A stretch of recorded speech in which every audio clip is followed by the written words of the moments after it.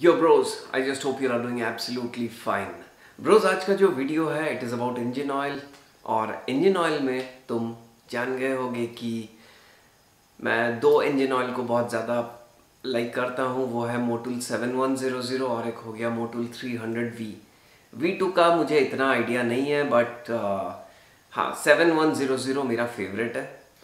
Next फिर आज मैं किस टॉपिक पे बना रहा हूँ? आज मैं एक मेरे साथ एक ऐसा सीन हुआ मैं एक इंजन ऑयल के कम अक्रॉस किया उसके बारे में बताऊँगा कौन सा है बट एक छोटा सा स्टोरी सो so, मेरा पिस्टन खराब हो चुका है जिसके वजह से वाइट स्मोक जा रहा है तो मेरा इंजन ऑयल ड्रेन हो रहा है. जब तक मैं पिस्टन चेंज नहीं करता जब मैं पिस्टन चेंज करूँगा मैं पिस्टन क्लच प्लेट सब कुछ एक साथ चेंज करूँगा क्योंकि गाड़ी बहुत चल चुकी है. तो मैं सोचा मैं कोई मिनरल इंजन ऑयल यूज़ करता हूँ इतना पैसा क्यों खर्चा करना? एनी anyway, वो सब तो चेंज होने ही वाला है. उसके बाद से फिर हम अच्छा इंजन ऑयल यूज़ करेंगे। सो so, सस्ते में मैं सोचा कि अगर मैं मिनरल में यूज़ करता हूँ मैं मोटुल ट्राई कर चुका हूँ कैस्ट्रोल ट्राई कर चुका हूँ तो वो सब साढ़े तीन सौ ऐसे रेंज में आते हैं। मैं सोचा थोड़ा और सस्ता में जाऊँ अगर ऐसे ही वो करना है। तो मैं रैंडमली घूमते घूमते एक जगह मुझे लगा कि इंजन ऑयल का लेवल ड्रॉप हो रहा है।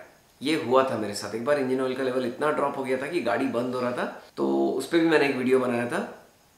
सो so, मैं रास्ते में चलते चलते मुझे एक मतलब आउटस्कर्ट्स में एक जगह दिखा जहाँ मैं घुस गया। वहाँ मुझे मिला ये बॉश का इंजन ऑयल वो बोला कि ये सबसे सस्ता वाला है ढाई सौ रुपए का। इससे सस्ता भी है लेकिन तो मैं सोचा कि यही ले लेता हूँ। ढाई सौ रुपए एकदम रीजनेबल है जितना मैं ढूंढ रहा था उसी रेंज में मिल गया।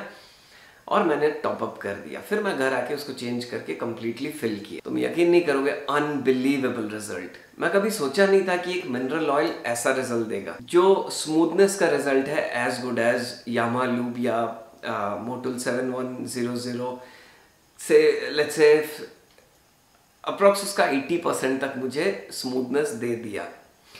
तो ये वीडियो मैं क्यों बना रहा हूँ? मैं प्रमोट नहीं कर रहा हूँ कि तुम यही वाला यूज़ करो। कभी कभी ऐसा सीन आता है कि जहाँ तुम्हें लगेगा कि यार अभी मैं इंजन ऑयल पे ज़्यादा स्पेंड नहीं करना चाहता हूँ या आ, मेरे जैसा सिचुएशन हो गया जहाँ गाड़ी में काम की ज़रूरत है और तुम एक्सपेंसिव इंजन ऑयल डाल के वो ड्रेन होता रहेगा या उड़ता रहेगा और तुम टॉपअप करते रहोगे। वो सिचुएशन में मैं बोलूँगा कि मैं कैस्ट्रॉल ट्राई कर चुका हूँ मोटोल ट्राई कर चुका हूँ, सब कुछ ट्राई कर चुका हूँ। इसका smoothness as good as a fully synthetic engine oil है ट्रस्ट मी मुझे पता नहीं तुम कहाँ पे हो, ये मिलता है या नहीं, ये मुझे बहुत जगहों पे नहीं मिला।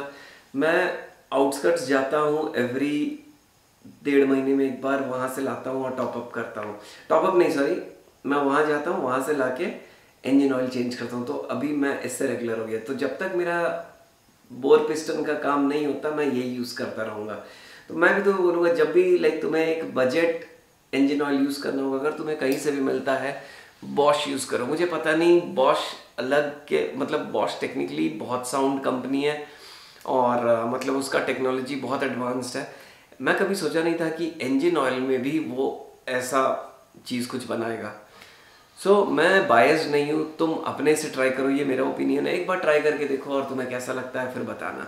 सो so, वीडियो बनाने का बेसिक पर्पस यही था कि जो बॉश इंजन ऑयल है इट्स आउटस्टैंडिंग और मैंने देखा कि मैं बॉश का जो मेन ऑफ़िस है मैं वहाँ से क्रॉस कर चुका हूँ बैंगलोर में होसूर रोड में और ये इंजन ऑयल भी वहीं बनता है।